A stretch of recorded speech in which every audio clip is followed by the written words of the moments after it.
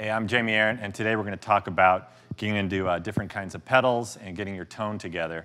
So I have a pretty basic pedal board in terms of kind of everything you need um, to cover most gigs. And I'll talk about the order and how I combine them, how I use them, and how you can use them. So the first thing uh, in my chain here is a wah pedal. And it's important to have the wah first. Um, some people like it after distortion for certain things, but um, I keep it in front. And uh, I use this for both rhythm stuff and lead stuff, but obviously for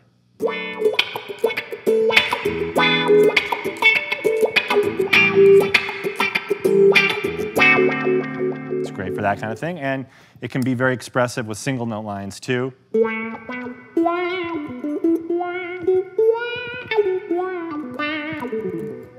And it just takes treble off and on of the signal. So you can either use it with a consistent rhythm, if you're playing rhythm guitar, or you can also step on the pedal when you need a little bit of expression to sort of mimic a voice.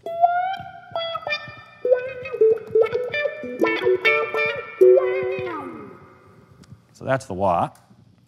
So moving on, uh, the next thing in my chain, I go to a tuner. Important to have. Always got to be in tune. Uh, and from there, I go to a compressor. So a compressor is an interesting pedal because um, not a lot of people really understand what it does, and it's kind of difficult to articulate.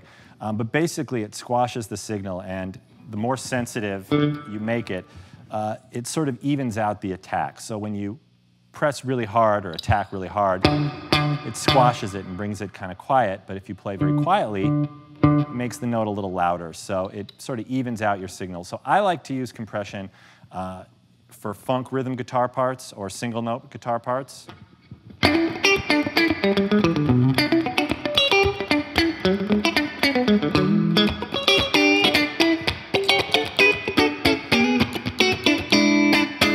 And it just sort of makes the part pop out, especially if you're playing in a band. It really lets it kind of fit right in, in the mix. Um, and another thing that compression does, which we can talk about a little later, uh, is it adds sustain to your sound. So if you're playing an overdriven solo and you really want to make the note last and sustain, compression is great for that.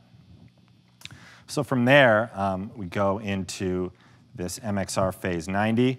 And I keep a phaser on here. It sort of functions as uh, a few different pedals since I don't have a lot of space on this board for multiple things. So if I keep it at a, a, slow, and you see it only has one knob, that's for speed. If I keep it at a slow speed, it's great as kind of a chorus. And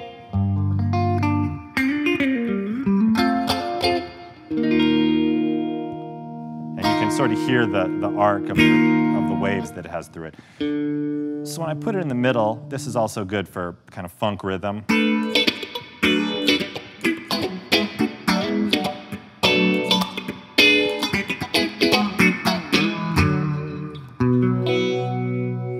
Can also use it for lead lines.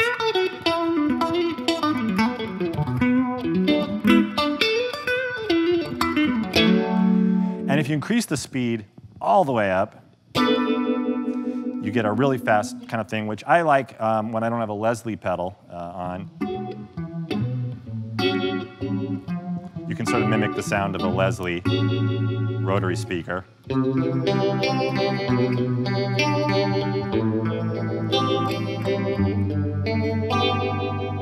So for one knob, it can be really versatile and give you a lot of sounds. So from there, um, even though it looks like I'm not going into it, the wiring underneath, uh, I go into the Clean Boost, RC booster, and this just takes the sound and if you have the gain dialed back, you can just take what sound you have and just make it a little louder.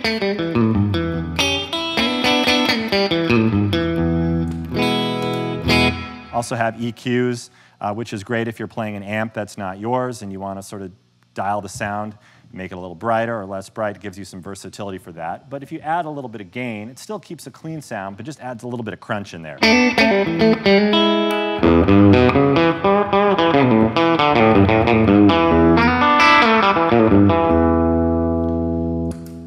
So I also like to use a clean boost uh, if I'm taking a solo and I have my pedals set for a certain level, but I just need a little bit of extra uh, volume to take it over the edge for a solo, I'll just step on that clean boost and it gives me that, that freedom. So from there, uh, go into a tube screamer, and I kind of keep this one set for just a medium kind of gain, not over the top, but great for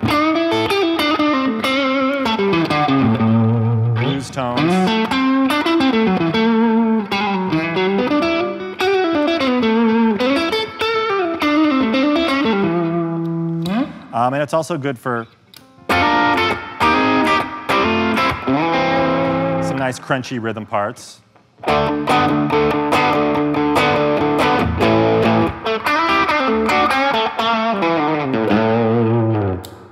And you can adjust the, the, gain up a little bit, but I like to leave the drive down and the level up to um,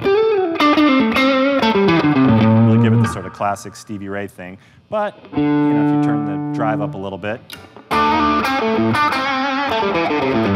can get a little more gain. So from there, I go into what is more of a full-on uh, distortion pedal, and this is sort of a Marshall kind of sound.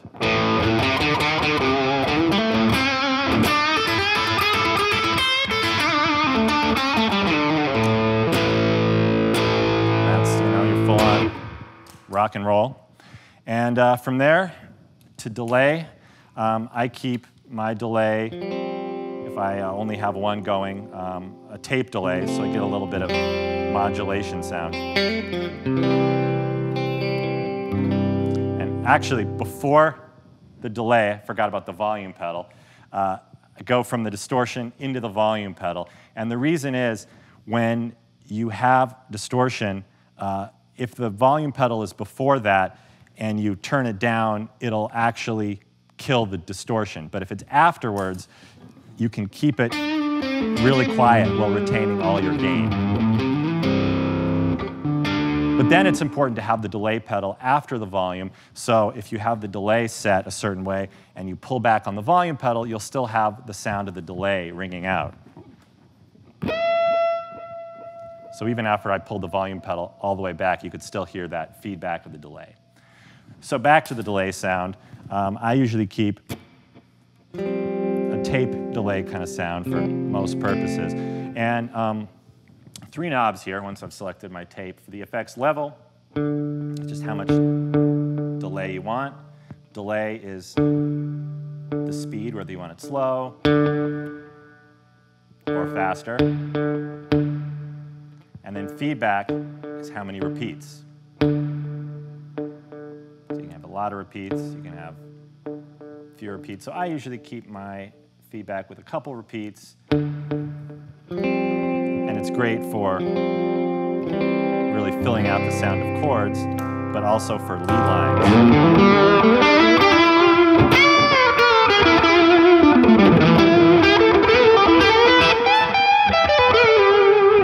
Just to really give it more sound and more sustain and fill it out. So after the delay, I have tremolo, and I keep this last because I really like it to sort of mimic if I was going into an amp with tremolo, an old Fender style amp. So this is great, obviously, for kind of R&B rhythm parts. And really just, it's good for getting a vibe. Control the speed to a really fast or a slow. It just depends how much you want that signal. So those are all the basic functions of the pedal. Um, some cool combinations, like I said, if you put compression on with overdrive, you can really get some good sustain.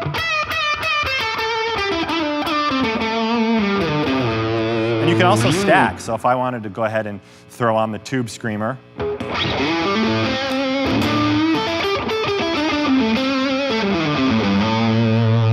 give you a little extra oomph to it. Same goes for the boost.